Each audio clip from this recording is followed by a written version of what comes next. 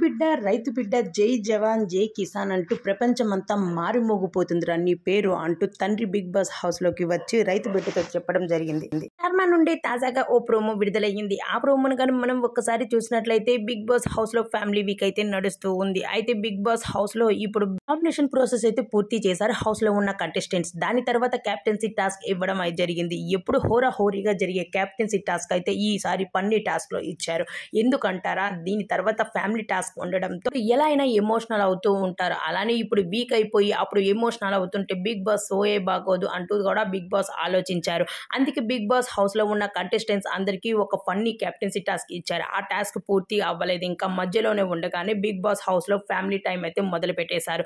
Big boss హౌస్లో ఉన్న contestants families అయితే బిగ్ బాస్ హౌస్లోకి అడుగు పెట్టేస్తున్నారు. మొదటిగా శివాజీ కొడుకు రెండోసారి అర్జున్ అంబాటి భార్య మూడోసారి అయితే అశ్విని తల్లి నాలుగోసారి అయితే గౌతమ్ కృష్ణ తల్లి అయితే బిగ్ బాస్ హౌస్లోకి ఎంట్రీ ఇవ్వడం జరిగింది. అలానే ఈ రోజు ఎవరు ఊహించని విధంగా రైతు బిడ్డ తండ్రి అయితే బిగ్ బాస్ హౌస్లోకి ఎంట్రీ ఇచ్చి తన తల్లి తన కొడుకుతో చెప్పుకొస్తున్నాడు. నీ ప్రేయర్ అంతా ప్రపంచమంతా మారిమోగిపోతుంది అలానే రైతు బిడ్డ ఒక కామన్ మ్యాన్ ఇప్పుడు సెలబ్రిటీగా మారిపోయాడు. సెలబ్రిటీకి లేని పేరు ఒక రైతు బిడ్డకు వచ్చింది అంటూ